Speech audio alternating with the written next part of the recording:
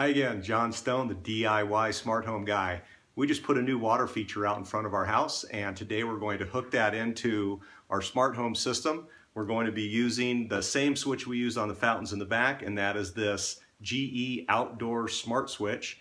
So if you're looking for one of these switches, you can just go right up to the link right here and I have some links over my website. You can go over to Amazon and pick one up. Uh, the main focus of this video, however, is going to be connecting in this smart switch to my Amazon Echo. As you know, I already have the fountain in the back. It's being controlled by a GE Outdoor Smart Switch. Uh, since I'm putting in a second one, I want all my fountains controlled by one group within the Amazon Echo. So the installation is going to be pretty simple. We're just going to unplug. I'm going to use the bottom one so it accommodates the grounding plug there. Open up the bottom, plug in the new fountain, and get that all plugged in. Now what we're going to have to do is get that synced into the Wink Hub and we'll be ready to go. So just like we did before, we're going to connect this into the Wink Hub. So first thing we're going to do is go over to our Wink application and select your Wink Hub.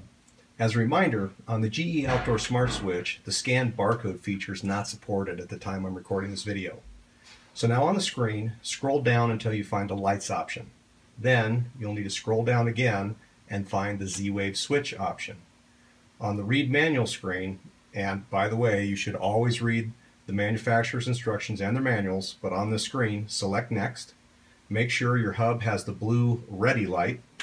Now, on the screen with the light bulb, select next one more time. You're all set. Press the connect now button and wait a few seconds. Now that the Wink Hub is ready, we're just going to push the button on the front a couple of times.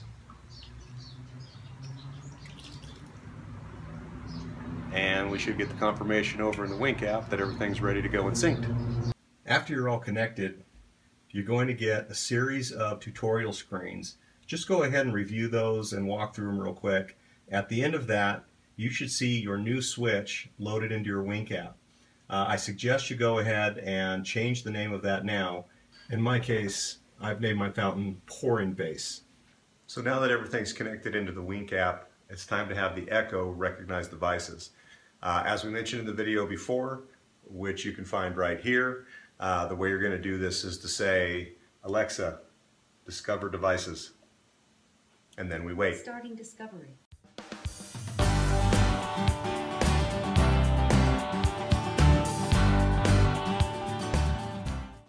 And rerun discovery. Okay, so now that my devices are all discovered, uh, I've went into my Wink app, as you can see right here, and I've renamed my fountains. So I gave specific names to the one in the backyard and a different name to the one in the front yard. The reason I did this is I don't want the echo to confuse when I say fountain.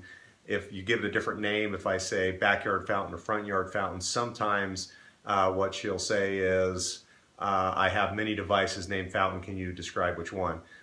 Okay, so now that we have the water feature up front, which we name pouring vase, and the water feature in back, which we call bird bath, uh, both of those are now in the group inside the Echo, and it's just as simple as any other voice command you'd give.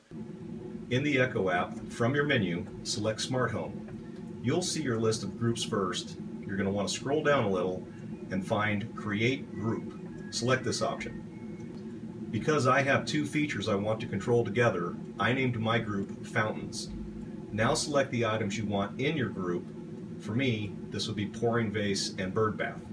Click Save, and you're all done. Alexa, turn on the fountain. Okay. So because we've put both of these devices together in a group, and we just simply call it fountain, both of those are controlled under the same group. Now if I want to control them individually, I can do that as well by just saying, Alexa, turn on the bird bath. Okay. Alexa, turn on the pouring vase. Okay. Now that turned both of them on individually, and if I want to turn them both off as a group, Alexa, turn the fountain off.